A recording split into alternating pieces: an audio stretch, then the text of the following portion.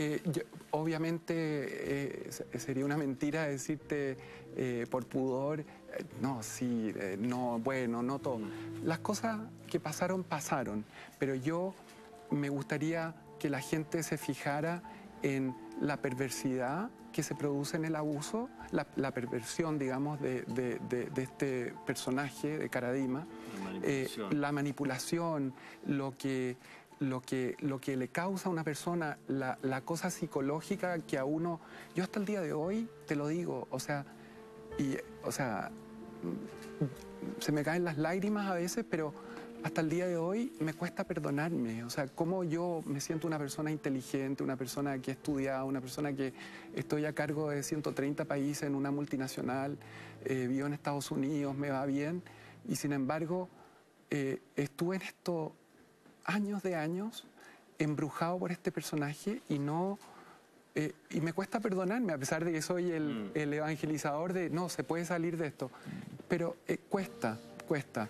Entonces... Eh, ¿Y cómo se...? Claro, ¿cómo...? cómo es, lo, que más... Porque tengo impotencia también de repente, o sea, no soy el que hay aquí, sale adelante. Como tú decís, me da mucha impotencia y mucha... se cruza todo, ¿no? En mm. esa dependencia, en Absolutamente. esa, complicidad también que mm. empieza a tener la víctima con el victimario. Se sienten que son parte de lo mismo, ¿no? No, y la, rabia que te da, porque mira, con 15 años llegar al bosque y que te digan, se acaban, acabáis de enterrar a tu papá y que te digan, eh, anda a ver este santo que te va a ayudar. Entonces uno va y yo me acuerdo con mi corbata el St. George ahí esperando, eh, sentado ahí este pendejo, digamos, eh, con el, uniforme del St. George, con la corbata azul, con, y yo esperando a este hombre que me iba a salvar de este dolor, tan grande que Y él me acoge, me, me incluye y a los pocos días me nombra su secretario personal, tú sabes ya de eso, y me, y me, y me dice yo voy a ser tu papá, de ahora en adelante yo soy tu papá. Y Dios, tú tienes que estar muy agradecido, Juan Carlos, porque Dios te ha mandado un papá. Y yo, mira, que veía a este hombre que era considerado un santo, el nuevo padre Hurtado, que estaba el nuncio al lado de él, que estaba Pinochet al lado de él, que estaban los generales, que está... Entonces, para un mocoso, eh, eh, indefenso y muy inocente en muchas cosas... Era la voz de la eh, verdad. Era como, Dios me quiere demasiado. Entonces cuando me, empiezo a confesar con él y él me dice que va a ser mi director espiritual, que en el juicio incluso negó que él a los 16 años me había dicho que él era mi director. yo no tomo dirigidos que sean menores de 18, en el careo me dijo eso. Eh, entonces, eh, eh, siempre eh, me empecé a confesar con él, me decía, yo soy tu papá. Eh, entonces imagínate lo que es para uno, cómo se va creando este, lo que se llama, ahora que he aprendido los términos más técnicos, este grooming así, y cómo él sabía apretarte los botones y saber, habían 10 gallos, eh, todos, bueno, y decía, este sí, este no, este sí, este sí, este no. Conocía este el, vulnerable, el cáncer. Increíble, claro, porque se metía en lo ¿Y cómo es que la película está?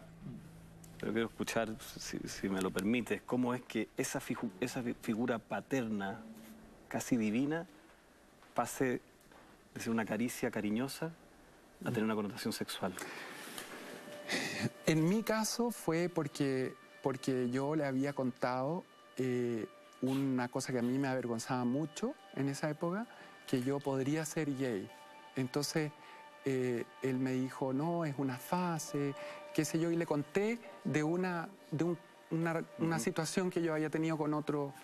Y él, eh, cuando me fui a confesar con eso, tremendamente avergonzado de esto, hincado delante de él, como nos confesaba él, eh, en su pieza, y ahí empezó a, a abusarme, a tocarme, a, bueno, para que...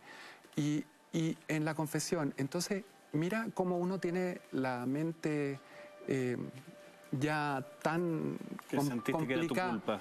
Me hizo sentirme a mí culpable y me hizo sentirme a mí que yo tenía que, yo me paralizaba cuando él me toqueteaba y hacía las cosas que me hacía.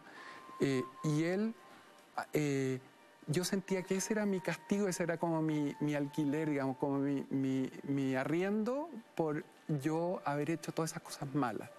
Entonces, yo era paralizado y dije, mira, que ahora uno lo piensa y dice, pero ¿cómo tan absurdo? Mm. Pero no, y eso es lo que a uno le cuesta perdonar. O sea, cuando yo voy a un psicólogo casi toda la semana en Estados Unidos, que esa otra cosa, o sea, que la iglesia, la negligencia de la iglesia es brutal, porque nosotros hemos podido salir adelante porque tenemos medios, porque tenemos acceso a Terapia, psicólogos, mm. porque podemos esto.